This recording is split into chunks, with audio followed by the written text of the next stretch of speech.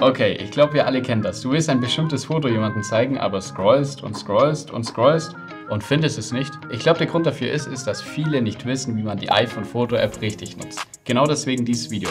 Hier kommen ein paar Tipps und Tricks. Let's go. Fangen wir direkt bei der Suchfunktion an. Echt praktisch, aber ich sehe selten jemand, der sie beim Suchen nutzt. Wenn du in der Fotos-App unten rechts auf Suchen klickst, kannst du hier offensichtliche Sachen suchen, wie zum Beispiel nach Gegenständen, Kategorien wie Essen, Momente wie vor einem Jahr oder Herbst, nach Personen und nach Orten oder Adressen. Falls du nach etwas Genauem suchst, kannst du auch mehrere Suchbegriffe eingeben. Und falls du noch eine genauere Suche haben willst, du kannst auch bei deinen Bildern einen Untertitel hinzufügen. Dazu gehst du zu deinem jeweiligen Foto und klickst entweder auf das i oder ziehst einfach das Bild nach oben. Hier sehen wir jetzt schon die Spalte Untertitel hinzufügen. Wir geben jetzt einen Hashtag ein, der zu dem Bild passt und an dem ich mich gut erinnern kann. Wenn ich jetzt das Bild beim nächsten Mal suche, kann ich direkt den Hashtag eingeben und schon erscheint es. Beispiel-Hashtags sind hier Hashtag Urlaub, Hashtag Amerika, Hashtag 10. Klasse und so weiter. Deine Familie oder Freunde wollen Bilder aus dem Urlaub sehen oder du willst selber einfach mal Bilder von deiner Reise anschauen? Dafür sind Alben perfekt. Dazu gehst du auf Alben und jetzt oben links auf das Plus. Hier kannst du ein neues Album erstellen oder einen neuen Ordner. Zum Verständnis, in einem Ordner kannst du mehrere Alben verstauen. Und hier kommt jetzt der spaßige Part. Du kannst auch ein geteiltes Album erstellen. Hier geben wir den Namen von dem Album ein. Dann können wir hier die Personen einladen, die wir hier in dem Album haben wollen und klicken jetzt auf Erstellen. Wir können oben rechts über das Personensymbol auch weitere Personen hinzufügen und einstellen, ob sie zum Beispiel nur das Album ansehen können oder auch selber Bilder hinzufügen können. Dann können wir einstellen, ob wir das Album als Webseite jedem einfach per Link teilen wollen und ob wir Mitteilungen bekommen wollen, falls jemand zum Beispiel ein neues Bild hinzugefügt hat. Über die drei Punkte und Fotos hinzufügen können wir wie schon im Namen Fotos hinzufügen. Wir wählen jetzt einfach mal die zwei aus und klicken auf Hinzufügen. Wir könnten hier noch etwas zu den Bildern schreiben, müssen wir aber nicht und klicken jetzt auf Posten, damit die Bilder hinzugefügt werden. Geteilte Alben sind aber standardmäßig nicht in der Fotos-App vorhanden. Das müssen wir erstmal in den Einstellungen anmachen. Dafür gehst du in Einstellungen auf deine Apple-ID, hier in iCloud zu Fotos gehen und klarstellen, dass ganz unten geteilte Alben an ist. Geteilte Alben sind super hilfreich, wenn du zum Beispiel mit anderen Personen in den Urlaub fährst und jeder einfach nur die Bilder hier reinschmeißen kann.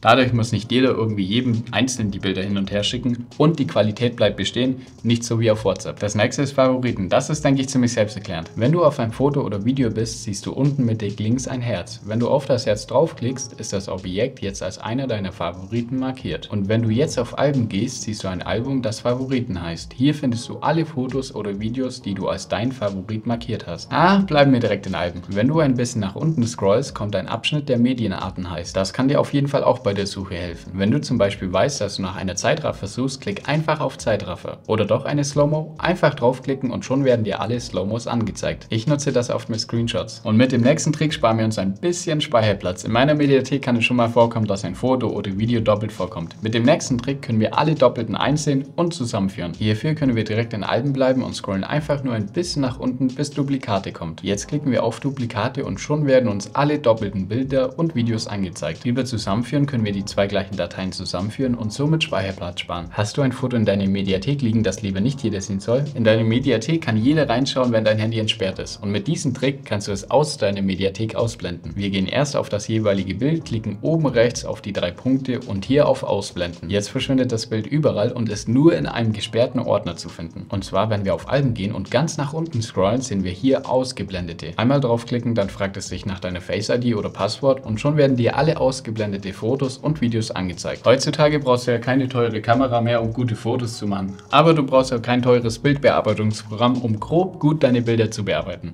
Das geht auch in der Fotos-App. Wir gehen jetzt auf das jeweilige Foto, das wir bearbeiten wollen und klicken oben rechts auf Bearbeiten. Und hier sehen wir direkt den heiligen Autoknopf. Wie schon im Namen wird hier das Bild automatisch angepasst und das funktioniert echt gut und reicht auch für die meisten Personen schon aus. Wenn wir jetzt aber nach links scrollen, sehen wir hier, was das iPhone automatisch angepasst hat und können selber auch noch Sachen anpassen. Hier zum Beispiel die Sättigung einfach unter dem Icon nach links für mehr oder nach rechts für mehr Sättigung ziehen. Gehen wir zum nächsten. Wenn wir unten auf die drei Kreise klicken, werden uns Filter angezeigt. Wähle hier einen Filter aus, der zum Mood von deinem Bild passt. Und jetzt noch eins weiter zum Zuschneiden. Hierüber kannst du das Bild rotieren, über die zwei Symbole verzerren, oben links das Bild spiegeln und drehen und über das Icon das Bild in ein bestimmtes Format croppen. Mit diesem Icon kannst du das Bild noch markieren oder bemalen und wenn du mit dem Bildbearbeiten fertig bist, klickst du einfach unten rechts auf das Häkchen und schon ist es fertig. Falls du dann bemerkst, dass du es doch nicht so gut bearbeitet hast, kannst du einfach wieder auf Bearbeiten gehen und dann unten rechts auf den roten Pfeil klicken. Damit geht das Bild wieder zum Original zurück. Neben geteilten Alben hast du auch noch eine weitere Möglichkeit, deine Bilder mit jemandem zu teilen. In Fotos kannst du ja eigentlich unten links über Mediathek in deine persönliche Mediathek gehen. Aber es gibt eine Möglichkeit, eine zweite geteilte iCloud-Foto-Mediathek zu öffnen. Mit dieser Mediathek kannst du mit deinen wichtigsten Personen in deinem Leben Fotos und Videos teilen. Du kannst einmal ein bestehendes Foto oder Video in deine geteilte Mediathek einfügen oder direkt aus deiner Kamera. Hier siehst du jetzt oben ein Männchen. Einfach draufklicken, die geteilte Mediathek auswählen und schon wird das Foto oder Video in deine geteilte Mediathek eingefügt. Also, dann fügen wir mal bei dir die zweite Mediathek hinzu. Dazu gehst du in Einstellungen auf deine Apple-ID, hier in iCloud und jetzt zu Fotos. Wenn du einen Ticken nach unten scrollst, siehst du hier schon geteilte Mediathek. Einmal draufklicken und hier direkt auf Los geht's. Jetzt kannst du bis zu fünf Personen zu deiner geteilten Mediathek einladen. Wenn du dann auf Weiter klickst, kannst du direkt Fotos und Videos aus deiner eigenen Mediathek in die geteilte einfügen. Du kannst entweder alle einfügen, nach Person oder Datum auswählen oder ganz manuell auswählen. Musst du aber nicht. Wir klicken auf Foto später bewegen, versenden hier noch die Einladung und wählen hier automatisch aus, also heißt, dass wir direkt beim Aufnehmen von einem Foto oder Video es in die geteilte Mediathek einfügen können und klicken auf Fertig. In Fotos wieder können wir oben rechts über das Männchen uns beide oder nur eine der Mediatheken anzeigen lassen. Es ist aber nur möglich, eine geteilte Mediathek zu erstellen und es setzt iOS 16.1 voraus. Was ich neu für mich entdeckt habe und ziemlich cool finde, ist die Rückblicke, die Apple erstellt. Um die Rückblicke anzuschauen, kannst du unten auf für dich klicken. Jetzt werden dir hier verschiedene Rückblicke angezeigt, auf die du einfach draufklicken kannst. Die kannst du aber auch bearbeiten, zum Beispiel unten links den Song oder unten rechts die Bilder austauschen. Und was hier das Coole ist, ist, dass du hierüber den Rückblick teilen kannst und auch mit Leuten teilen kannst, die keinen Apfel besitzen. Zum Schluss geht es noch kurz über Privatsphäre. Wenn du ein Bild zum Beispiel über iMessage oder AirDrop verschickst, verschickt es meistens auch deine Daten zu dem Foto. Also unter anderem auch dein Standort und das Datum, wann das Foto gemacht worden ist. Wenn du aber auf Teilen klickst und hier dann auf Optionen, kannst du alles ausstellen und sorglos dein Bild verschicken. Wenn du aber Wert auf deinen Datenschutz legst, dann ist der letzte Tipp nichts im Gegensatz dazu, was du sonst noch alles für deinen Datenschutz auf dem iPhone machen kannst. Deswegen klick gerne auf das Video.